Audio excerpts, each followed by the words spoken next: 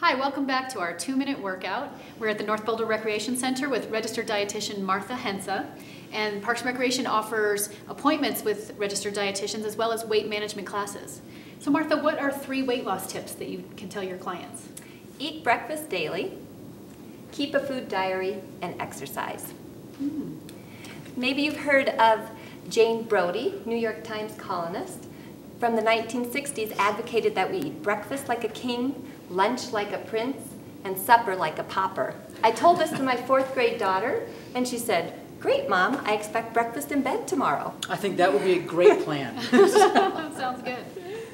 And when you keep a food diary, make sure you write down food, time, portion, and mood. Then you can ask yourself, am I eating because of hunger cues, or am I tired, lonely, sad? And write down the time and the food that you eat those things. You really can keep track of what you're eating by writing it down. You mentioned we should keep track of what we're eating. Are there certain types of food that might be better for weight loss and nutrition than other food? Well, let me get my whole grain basket out here.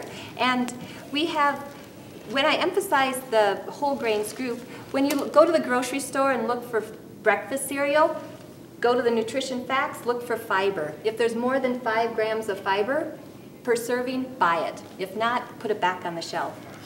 Okay. Whole grains keep you fuller longer. We also have some whole wheat biscuits. Yum. Choose brown rice, as well as we have spaghetti, which is whole grain as well. They're lower calories, will keep you fuller longer. Lots okay. of B vitamins and fiber. And, and I assume the spoon is for portion size control, and I think we're about out of time. So I'm going to take my spoon and your cereal, and we'll see you next time.